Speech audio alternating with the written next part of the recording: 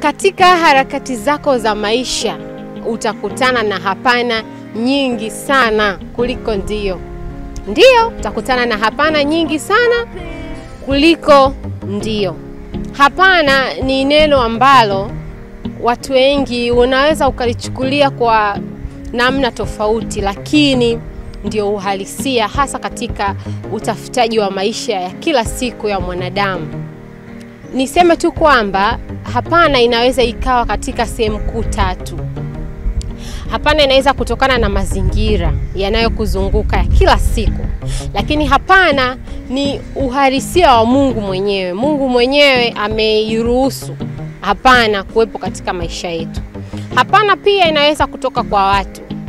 Kwa hiyo lazima ujue au utambue kwamba hapana ipo sana kwenye maisha kuliko ndio. Na katika mtazamo huo basi, napenda kukufahamisha au kukuelewesha au kukuelezea kwa namna moja au nyingine, ni kwa namna gani unakutana na hapana nyingi kuliko ndio, au tunaita rejections, yani maana yake vitu kukataliwa, mipango kukataliwa. Mazingira yanaweza yakakataa mipango yako, watu wanaweza wakakataa mipango. Hapana, uh, kimungu ipo na unaona kabisa kwenye maombi yako eh? Sio lazima ujibiwe, unaweza ukaomba Mungu, nataka hiki hiki hiki, lakini ikapita hivyo tu, ukashangaa kwamba he, siku zimeenda na hujajibiwa maombi yako inakuwa ni suala la kimungu. Lakini hapana, pia kimazingira, unaweza ukafanya kazi sana na ukapata kidogo. Eh, tunaona watu wanafanya kazi kweli kweli, jasho linatoka, lakini mwisho wa siku anapata kidogo au hapati kabisa. Hapana, hapana vile vile kutoka kwa watu wanaotuzunguka, watu wetu wa karibu tunaowajua, hata tusiowajua. E, umefika zako, una wazo lako unapeleka kwa watu, wanasema hapana. Tena inaweza ikawa moja kwa moja au kwa kona kona za hapa na pale, ukapigwa kapuni namna hiyo. Kwa hiyo hapana ni sehemu ya maisha yako ya kila siku, na lazima ukubali kwamba hapana haikwepeki, na ndio hivyo tunasema kwamba hapana iko zaidi kuliko ndio. Ndio ni chache, hapana ni nyingi. Kwa hiyo unatakiwa ujue kabisa, ukikataliwa usianze kutengeneza chuki na watu. Watu wakisema hapana, unatakiwa uelewe hapana ni asili, ni nature. Lakini pia hapana kimazingira. Mimi nataka nikupe mfano mmoja. Mwaka elfu mbili na kumi na sita aa, nililima Bagamoyo, aa, nililima nililima tikiti Bagamoyo. Nimefuatilia vizuri uh, mipango yote na nini na nini, nikahakikisha napata pembejeo za kunifaa kwenye kilimo changu, nikawekeza kwa nguvu zangu zote, nikalima eka mbili na nusu. Kilichotokea baadaye, uh, maua yanaanza kutoka kwenye miche, pamoja na baadhi ya miche ikaanza kutoa matunda. Kuna wajamaa wanaitwa Kima, walikuja wakala heka mbili na nusu tena walichimbua mpaka mizizi, sio tu kula majani, walikula mpaka mizizi ya, ya ile michi ya tikiti.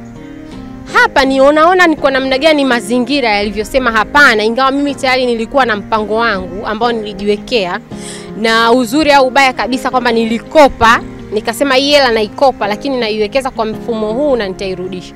Kwa hiyo mazingira yakabisha, yakasema hapana, lakini pia nikaichukua nikaiweka kimungu huenda pia hapana, ilikuwa ni kimungu zaidi, kwamba labda wakati haujafika wa kile ambacho mimi labda nilikuwa nataka nikifanye.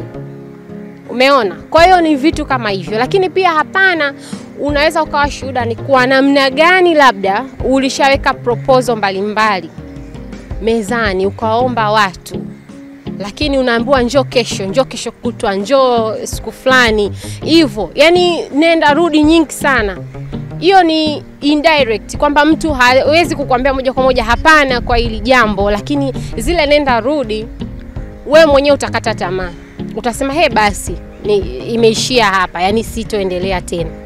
Kwa hiyo unaweza ukaona ni kwamba watu, mazingira, lakini Mungu naye ana hapana zake nyingi sana kwenye maisha yetu.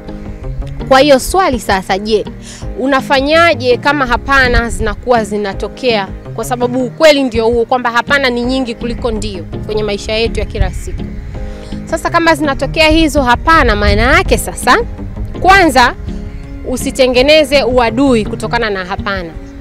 Wengi tunakosea, mtu anapopata hapana nyingi kutoka kwa watu e, hata kwa mazingira unasusa. Kwa mfano kilimo, nimetolea mfano wangu mimi wa kilimo, unasema mi sifanyi tena. Hapana, ni kosa. Yani tayari nasema tena hapana, kwamba hutakiwi kusema mimi silimi tena au watu ambao walikukataa wakasema hapana kwako, basi ugombane nao au usiwe marafiki nao. No, unachotakiwa wewe ni kwanza kujua kabisa hapana ni nyingi, na hapana inaweza ikawa ni fursa ya wewe kusogea hatua nyingine. Mtu anapokwambia hapana, mazingira anapokwambia hapana, au Mungu unapomuomba akakwambia akakujibu hapana, maana yake unapata nafasi nyingine ya kutafuta njia nyingine. Huenda ulikuwa hujajifunza zaidi au hujaelewa zaidi, basi labda vina mazingira yanataka uelewe vitu fulani zaidi, watu wanataka ujue vitu fulani zaidi, Mungu anataka ujue vitu fulani zaidi. Kwa hiyo kwenye maisha yetu ya kila siku, hapana ni nyingi sana kuliko ndio, na sio dhambi, sio ubaya. Mtu akikwambia hapana, nenda zako, sio lazima ufanyiwe kitu fulani, sio lazima usaidiwe na mtu fulani, sio lazima. Kwa hiyo hapana ni maisha ya kila siku. Hapana ipokee, ifanyie kazi. Hapana inakutengeneza, inakupika kuwa bora zaidi.